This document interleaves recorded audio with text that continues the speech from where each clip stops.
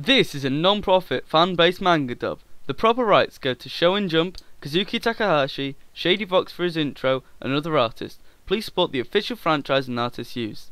This manga is audio descriptive for the blind and partially of hearing and sighted. Warning: the shadow game you're about to see is extremely dangerous. We wish you not to do it at home at your own risk. The following narration is now continued to be done by Team Mecha rather than Ariana. Thank you for understanding. We're walking on. Side by side arm in arm. I stand and count the disappearing dreams But through the fog, my friends are what I see. You're on the path that you seem to know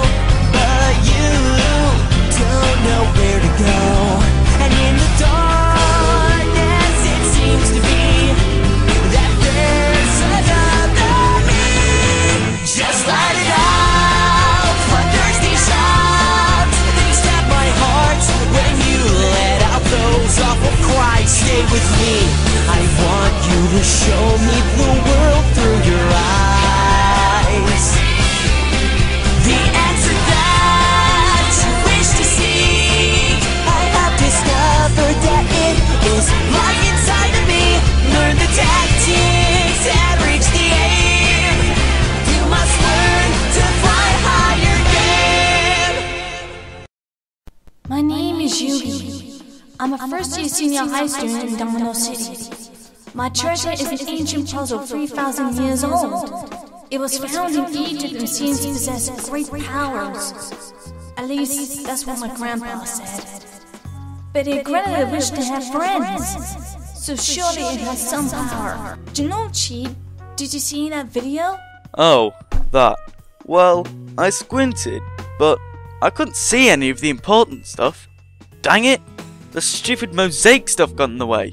Yugi, I'll lend you it sometime. Yes. At the entrance of Domino High School, Jounouchi and Yugi saw the ZTV van parked outside. Huh? Look, there's a television van parked outside the school gate. Ah, yeah. But why?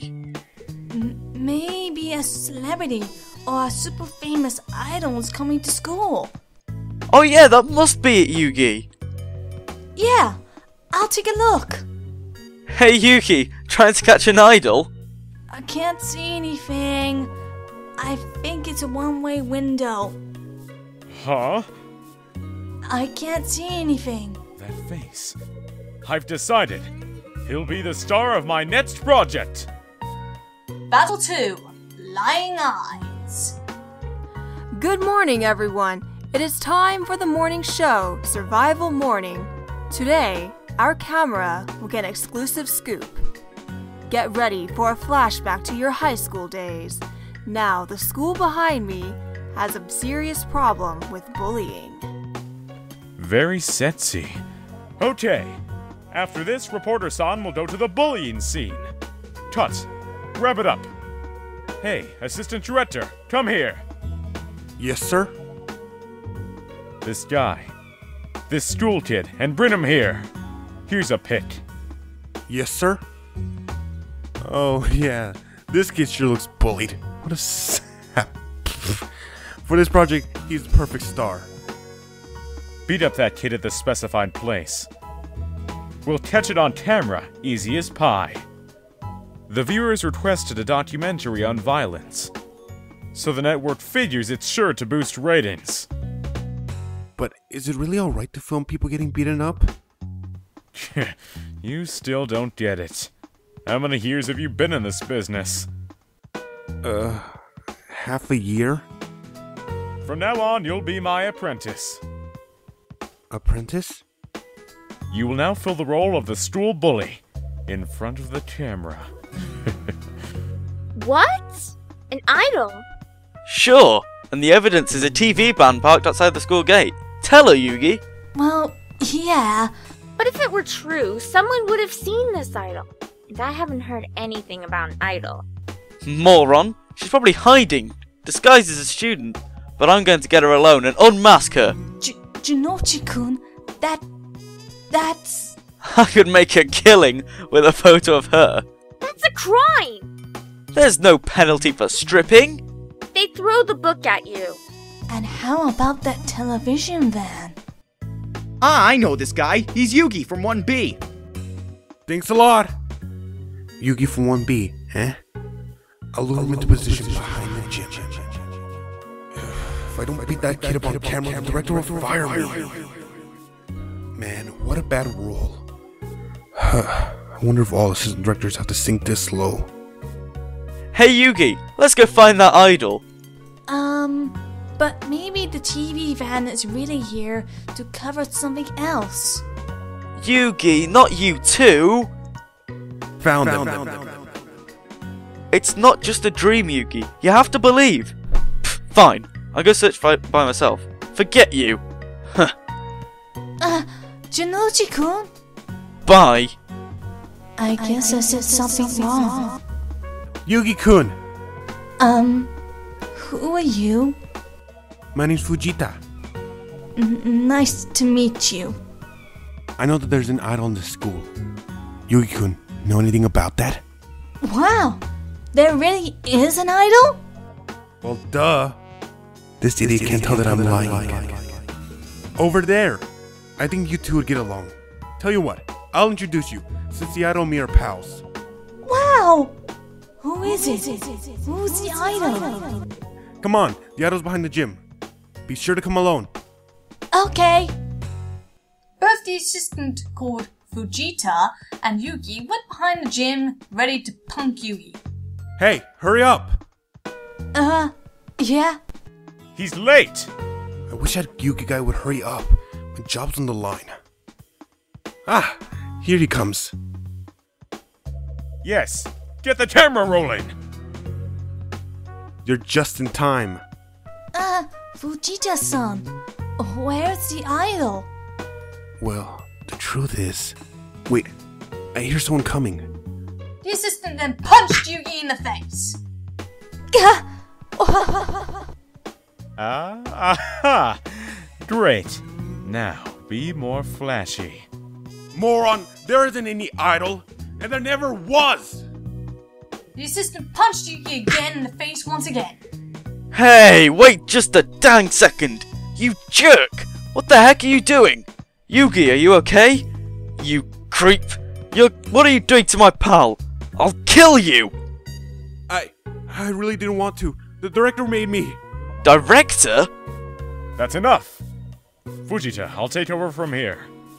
You. You made him do this to Yugi. Yugi, are you okay? I'm sorry, Jounouchi-kun. I want to see the idol. Only because you believe these lies these creeps were telling you. Hey, cut! We don't need to film this teenage drama. It's a waste of film.